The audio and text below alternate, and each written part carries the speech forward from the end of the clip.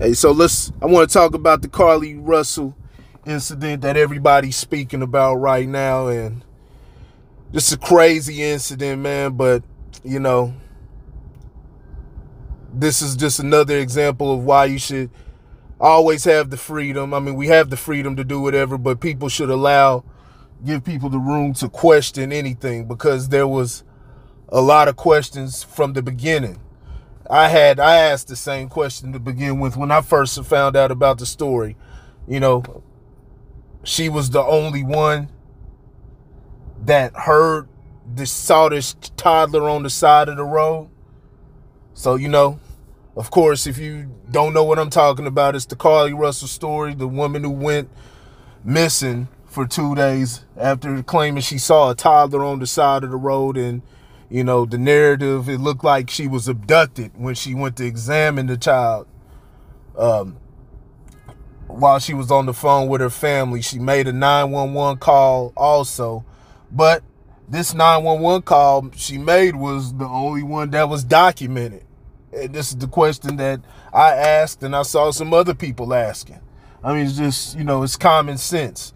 Now, it's not to say that that's not possible. There's not a possibility that she couldn't have been the only one that identified that. But in most cases, if people are going to see that, if she was able to examine that toddler on the side of the road at night through you know, or whatever her her uh, her lights or whatever, somebody else and other people, more times than not, there's going to be multiple people who are going to make that 911 call.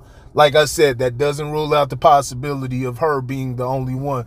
But now, given the information of what we know about the case, uh, this chick was faking the whole entire time. Uh, said they saw her search history and she was searching, taking the damn movie, taking, uh, searching how to take money out of the register, out of the register without being caught, uh, looking up one-way bus tickets to I think Nashville, Tennessee. Uh, yeah, man, it's just a whole bunch of oh, but oh, also how to uh how to make an Amber Alert or how to pay for an Amber Alert. Just real low down shit, man. And there's something going on with this girl.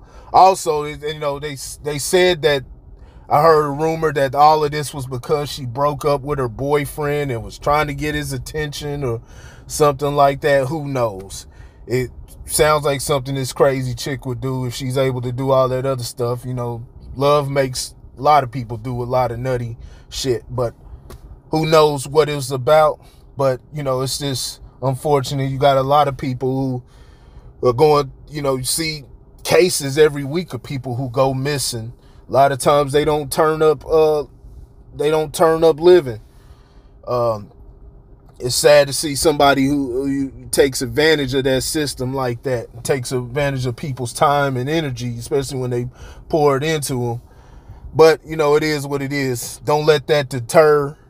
That shouldn't let you know just shouldn't let a situation like this deter people for looking out for each other. You know, when you get an Amber Alert or anything like that, or an alert of somebody missing, people taking the time out to keep their eyes open and give tips and certain things like that. You know, it, it, it, doesn't take much to look out for each other and don't let something, don't let one fool ruin it for everybody else and feel like you just can't trust anybody or can't look out for the next person. You're always going to have some idiots that exploit a situation, the, the Jussie Smollett types, right?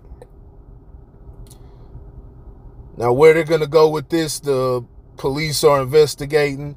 Sounds like uh, she's not being cooperative, not giving additional information. So, see where this goes. Uh, possibility she could be charged, She's wasting taxpayer dollars and what you know, making false reports on stuff. And yeah, but this chick has a this chick has a clear problem.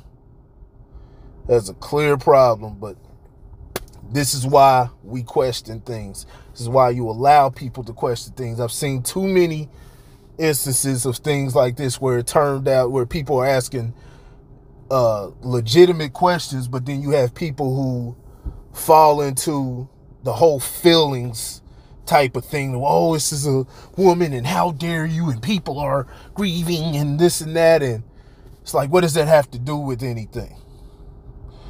What does that have to do with anything? That has nothing to do with my point. Debunk what I'm saying. It's the same thing like with the whole COVID narrative and everything was going on with that, and people were asking the right questions, but people were being shamed for asking these questions and ostracized for asking these questions. And now you have thing, you know, different, you know, all type of stuff being revealed about it two years later when people knew this same type of information years ago. So it is what it is. Don't let nobody shame you out of asking questions. Because when something smells funny, usually that's exactly what it is. And you get conclusions like this, man. I mean, you it was gonna come out eventually. You know, the police were gonna do their job, but even in our everyday lives, when we seeing things, even when you see things on the news and different stories that are being fed to you, you got to be able to ask questions. You got to be able to use your critical thinking skills.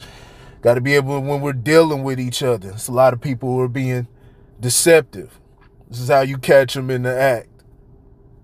Certain shit just doesn't add up. So hopefully this girl gets some gets some help, but she also needs to deal with some consequences, man. Anybody who does stuff like that, uh, I just there's got to be some type of consequences. Mainly those folks who put uh, false charges on people and stuff like that. I'm, pr I'm pretty sure it wasn't anybody in particular, but you know, sometimes, especially what if she wanted to go all the way with this and uh, made a description of a person and a wrong person? Think of how many people get wrongfully detained and stuff. We talk about Emmett Till and uh, Carolyn Bryant all the time, all the way from the 1950s. But think of all the all the different cases, no matter what races were involved or whatnot, all of the different races in the modern times to where somebody's been wrongfully detained or stuff like that and think about you know they all of a sudden being detained and they have no reason why and they're you know who's to say they want to comply? It's always probably if you want to go home it's smarter to comply but if you've done nothing and you dealing with police especially a dickhead you go every now and then you get a dickhead police officer you're dealing with people who you know, are on that power drug. They're on a power trip at times. Some of them. That's what, you know, that's what power does to some people.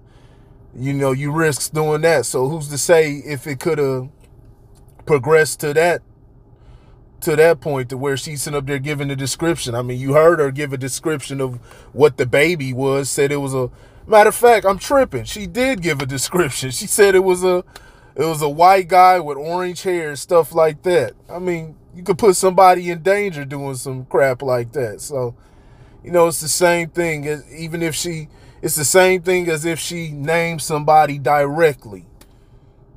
Damn near the same thing. So, no, nah, it's not cool. I think she needs to it's got to be some consequences. I'm not saying harsh consequences anything, but there's got to be some type of consequences for actions like that. That stuff can't be tolerated. And too many uh, people get away. A lot of women get away with bullshit like that and put a lot of men in bad, uh, you know, in bad positions.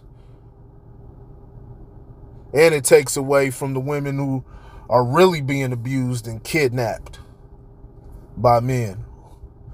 But you know, like I said, don't let us one situation like this uh, stray you away from keeping your eyes out and being uh, willing to help the next person or help a person who may be in need or you know who may could possibly be in danger. It doesn't take a lot of energy. It doesn't take a lot of energy out of your day. Nobody's asking you to go out and be on a search team or anything like that.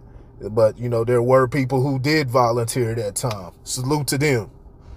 Salute to them. And hopefully this doesn't deter them from doing what they did. Anyway, that's all I got on this situation. Y'all let me know what y'all think in the comment section. But yeah, this Carlee Russell. Uh, the police have come out. They've identified that yeah, this look this looks to be a hoax, and they say there's no threat out there. And yep, that's pretty much we can pretty much um, come to the conclusion that yeah, she's a Jussie Smollett. So I'll holler at y'all later.